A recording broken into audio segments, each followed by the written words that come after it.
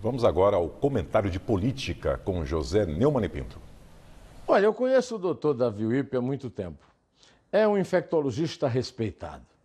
Eu ah, me lembro de tê-lo conhecido na época da epidemia de meningite aqui em São Paulo, que foi abafada, que foi censurada e que nunca ninguém à época teve ideia do tamanho dela, mas ficou para a história. Foi na ditadura militar e o doutor Davi Oip, nesse tempo todo, se consagrou como um grande epidemiologista. Enquanto isso, uh, Jair Messias Bolsonaro, que saiu do exército quando capitão numa situação bem complicada, não foi expulso, fizeram um acordo, o perdoaram de uma acusação de terrorismo na justiça militar.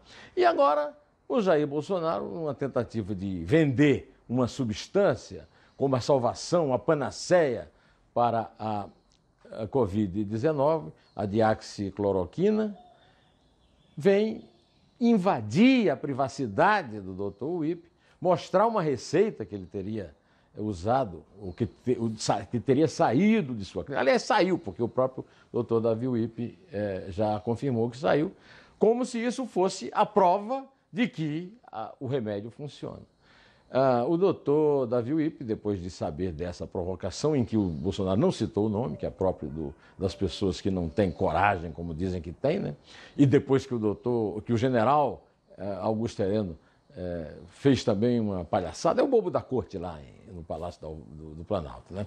É, a respeito desse assunto, ele disse: me respeite, presidente. E disse mais: eu respeitei a sua, o seu diagnóstico. Né? É, fez mal, doutor Davi Wipp. Como, como é, epidemiologista, o senhor pode até respeitar, como cidadão, não. O chefe de Estado tem obrigação, obrigação de comunicar à população de forma transparente o seu estado de saúde. Bom, direto ao assunto, até sexta-feira santa.